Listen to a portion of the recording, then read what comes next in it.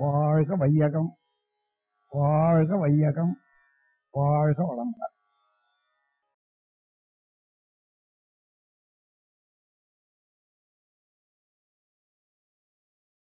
வேதாத்திரிய கேள்வியும் பதிலும். வணக்கம். வாழ்க வையகம். வாழ்க வளமுடன். வேதாத்திரி மகரிஷி வாழ்க வளமுடன். அன்பர்களே இது வேதாத்திரிய சானல். உங்களை அன்புடன் வரவேற்கிறோம். நீங்களும் உங்கள் அன்பு குடும்பமும் உடல் நலம் நீளாயுள் நிறை செல்வம் உயர்ப்புகள் மெய்ஞானம் பெற்று ஓங்கி வாழ்க என வாழ்த்துகிறோம். இன்றைய வேதாத்திரிய கேள்வி பதில் நிகழ்ச்சியில் உங்களைச் சந்திப்பதில் பெரும் மகிழ்ச்சி. கேள்வி ஐயா நாம் காயகல்ப பயிற்சியை சரியான வகையில் முறையாகத்தான் செய்கிறோம் என்பதை அறிய ஏதேனும் வழிகள் உண்டா? தீட்சை எடுக்காத நபர்கள் இதை எப்படி அறிவது? பதில். குருமகான் வேதாத்திரி மகரிஷி அவர்கள் வழங்கிய காயகல்பம் பயிற்சியை சந்தேகம் இல்லாது கற்றுத்தேர்தல் அவசியம். ஏற்படும் சந்தேகங்களை அந்த வகுப்பிலேயே ஆசிரியரிடம் கேட்டு தெரிந்து கொள்ளுதல் நல்லது. சிலர் கேள்வி கேட்க சங்கோஜமடைந்து பிறகு பார்த்து கொள்ளலாம் என்று விட்டு விடுவார்கள்.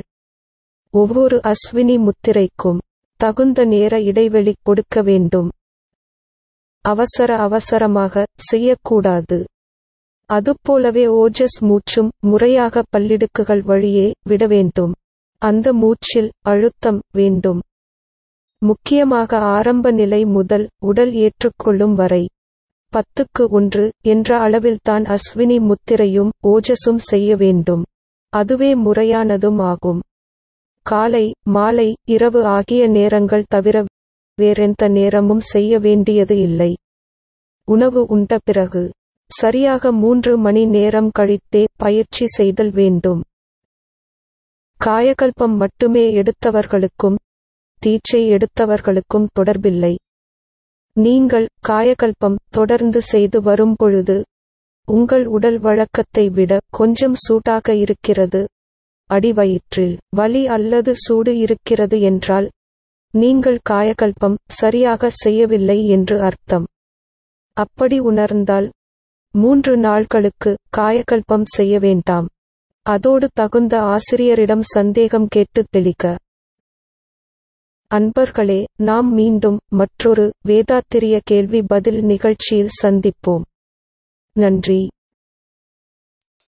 வணக்கம் அன்பர்களே. வாழ்க வையகம் வாழ்க வளமுடன்.